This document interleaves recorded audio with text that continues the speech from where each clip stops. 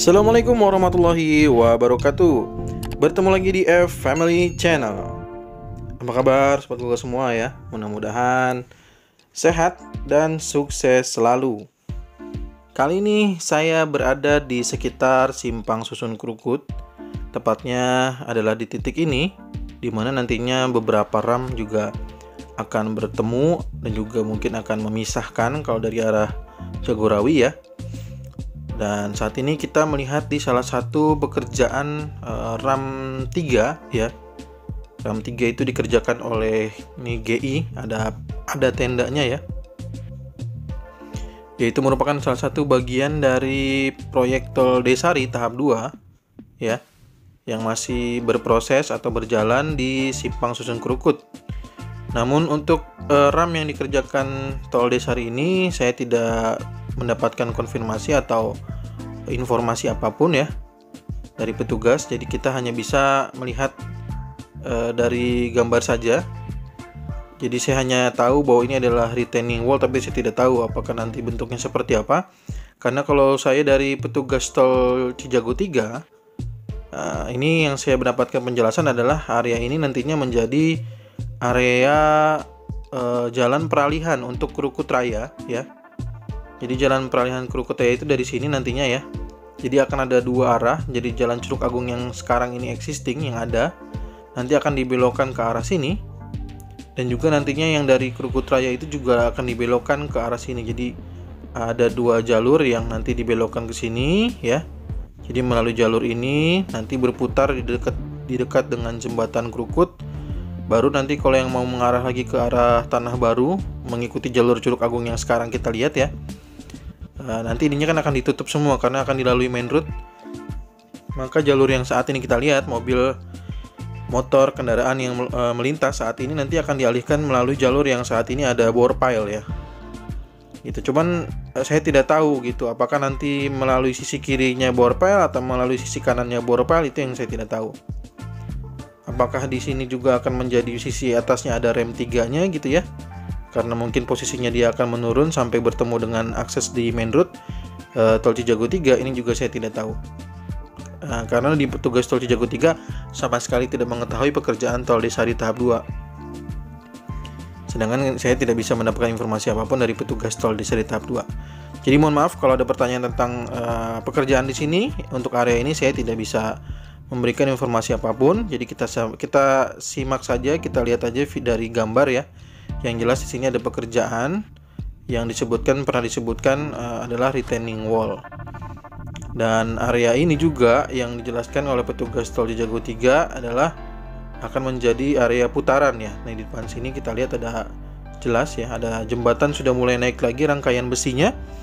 Dan e, nantinya seperti saya sampaikan juga ya, jadi nanti akan ada putaran nanti untuk ke arah Tugu Tanah Baru juga melalui jalur ini dan nanti juga bisa lurus lagi ya melalui sisi paling uh, kiri dari jalan tol atau main road ya nanti ada jalan warga juga yang bisa kembali lagi ke arah Krukut Raya menuju Sawangan gitu jadi kalau jalan tolnya rem uh, eh, 4 itu nanti dia akan naik akan terus nanjak dari sisi depan sana ya mengikuti jalur uh, menuju ke arah Sawangan gitu. kalau jalur warganya juga kalau jalur warganya nanti berada di sisi paling kiri dari main road ya tidak masuk tol ya tidak masuk tol karena ada jalur khususnya sendiri Oke, pertama sebelum kita akan melihat kembali jalur uh, progres jalur uh, yang ada di sini atau pekerjaan di area ini, sekali lagi kita mari kita lihat ini adalah progres dari jembatan Kali Krukut ya. Jembatan Kali Krukut yang kita bisa lihat uh, kondisinya sudah mulai naik ya. Jadi bekisting juga sudah beberapa disusun lagi untuk persiapan beberapa kali saya juga sudah tampilkan uh, kondisi di eh, beberapa pekerjaan yang bentuk susunannya susunan-susunan besinya ya kita lihat hampir sama begitu ya. Jadi ini sudah mulai naik pekerjaannya. Kita lihat di sana juga ada konkret pump ya truk konkret pump. Jadi dia mobil truknya ada di lokasi. Eh, mungkin juga sudah mulai mau memberikan beton ya di area ini Maka mari kita saksikan aja kita coba putari area ini ya supaya sobat tugas semua, kita semua ya bisa melihat ada seperti apa penampakannya biar kita melihatnya jangan dari satu arah. Nah, mari kita lihat ya, kita berputar, kita coba putari area titik penting ini yaitu titik jembatan eh, kali Krukut ya, jembatan kali Krukut yang eh, menjadi titik penting untuk menyeberangi kali ini dan menjadi beberapa akses ram untuk di simpang susun Krukut. ya, kita lihat di sini ya, jelas sekali. Sisi sudah mulai tertutup ya tampaknya. Beberapa jalur eh beberapa sisi dari jembatan Kali Krukut ya. Dan ini adalah rotary drilling rig dan kita lihat ternyata ada seat pile ya seperti yang ada di area gerbang tol Kukusan ya. Dan di sini kita juga bisa melihat ada uh, crane. Ada persiapan berikutnya mungkin untuk di area ini ya. Untuk jembatan juga bagian sisi dari Gang Rait atau jadi menuju ke arah jalan lontar. Nah, kita lihat ya sisi ini nih yang yang ternyata sudah mulai mengotak ya bagian bawahnya sudah mulai rapi. Sedangkan mungkin sebelah sana masih dalam proses. Nah, tinggal kita saksikan sudah mulai ingin naik lagi ya bagian jembatannya. Nah, nanti tinggi jembatannya itu sama dengan main road yang sudah ditimbun di area Curug Agung ya. Kalau kita lihat ya. Nah, mari kita sekarang coba maju dulu menuju ke arah jalan lontar ya akses ini kita lihat ya seperti yang sudah pernah saya sampaikan bahwa ke depan sana adalah menuju ke jalan lontar.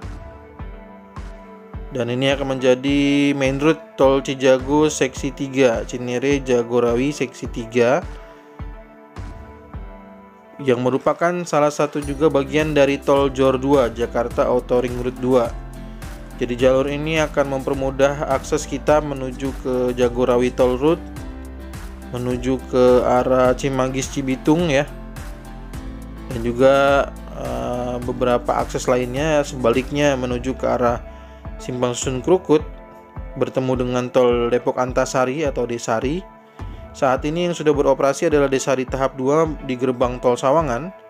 Nantinya akan ada proyek barunya, tol Desari terbaru yaitu uh, desa di tahap 3 yang akan keluar di gerbang tol uh, Bojonggede dan juga tol desa di tahap 4 yang menuju ke arah uh, Salamenda Bogor.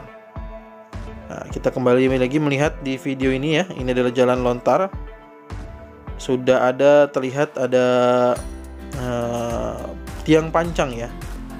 Tiang pancang yang persiapan untuk bekerjaan di area ini, area main road kalau kita lihat, kita simak ya, kita simak betul bahwa area ini memang luar biasa. Pengerukannya sudah sampai titik ini. Bagian tengah ya, sekali lagi ini bagian tengah yang dikeruk.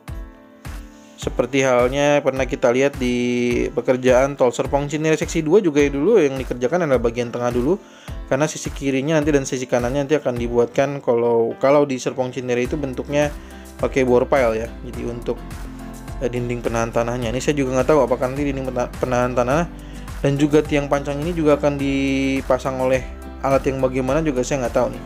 Karena kalau yang kita sudah lihat pemasangan tiang pancang yang di area e, tanah baru, flyover tanah baru dan juga pekerjaan di area kali pesanggerahan itu dengan alat yang namanya hidrolik static hidrolik static pile drive ya Sedangkan untuk yang uh, di tempat lainnya ada yang menggunakan piston, ya, ada juga menggunakan alat lainnya.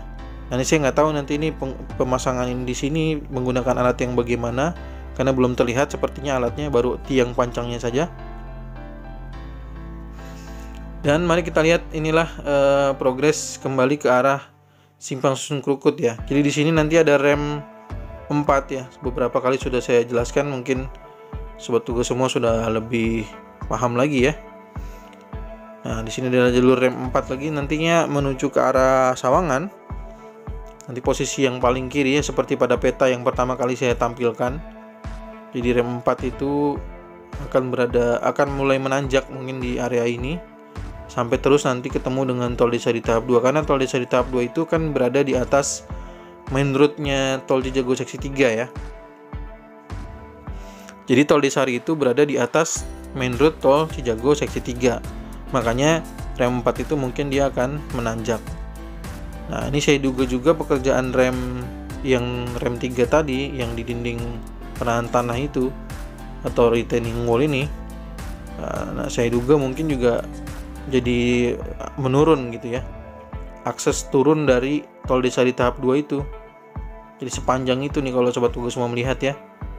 Nah, dari ujung sana tuh ada kita bisa melihat akses yang sudah keluar dari tol desa di tahap 2 sampai ke sini.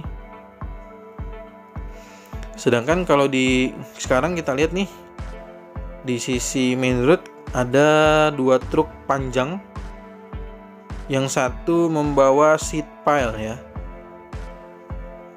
dan yang satu membawa uh, tiang pancang. Kita juga lihat di belakangnya ada dozer sama seafood. Ya inilah seat pile yang juga ternyata bahannya juga beton juga ya keras dia. Kemarin saya iseng aja saya ketuk mumpung bisa liputan dari jarak dekat. Saya pengen tahu gitu ya sebagaimana seat pile ini ternyata ya sama juga jadi keras dia. Kalau diketuk itu ya beton juga. Sama halnya mungkin dengan tiang pancang gitu ya. Oke. Nah inilah nanti sisi jalur peralihan warga ya. Jadi jalur peralihan warga menuju ke Dukut nanti melalui jalur paling kiri ini ya. Jadi sejajar mungkin dengan main road namun di luar di luar tol ya. Jadi dia akan berada di luar tol di paling akses paling kiri. Itu makanya saya duga di, di bawahnya adalah jalur jalur warga saya duga mungkin atasnya eh, tol tol untuk rem 4 ya atau nanti bersisian saya juga nggak tahu juga nih di sini di di sini kita belum bisa melihat dengan detail ya karena masih banyak pekerjaan. Uh, yang jelas kita lihat hutan di tengah ini sudah di clearing. Awalnya ini ada masih ada pohon-pohonan ya, bukan hutan nih. hutan kesannya jadi hutan mah jadi banyak banget pohonnya gitu ya. Pohonnya di sini ada pohon dan juga satu rumah sudah di clearing ya. Nah, dan ini juga rumah ini juga sudah di clearing karena yang memang kalau dilihat dari yang saya tahu ya, pada pekan kemarin yang saya pernah saya sampaikan di postingan kalau area Krukut dan Limo sudah dipanggil dan saya lihat saya dengar informasinya bahwa di Krukut itu hampir semuanya sekarang sudah dipanggil semua. Jadi dalam waktu dekat mungkin Krukut juga akan diratakan semua jadi bisa lebih terlihat lagi ya area area kerjanya si Susun Krukut ya. Gitu. Oke. Itulah informasi yang bisa saya sampaikan di area ini. Jadi ini adalah merupakan akses penting ya akses berbagai akses yang akan keluar dan akan masuk di main road tol Cijago 3 baik menuju tol Desari ataupun dari tol Desari juga jadi salah satu bisa dibilang ini adalah titik temu juga nantinya. Titik temu dari tol Desari juga dengan tol Cijago 3 Oke informasi itu aja mungkin yang bisa saya sampaikan. Mohon maaf jika ada kesalahan penyampaian dan kekurangannya. Terima kasih atas support sobat tugas semua. Kita ketemu lagi di video berikutnya. Jangan lupa subscribe like dan share. Assalamualaikum warahmatullahi wabarakatuh.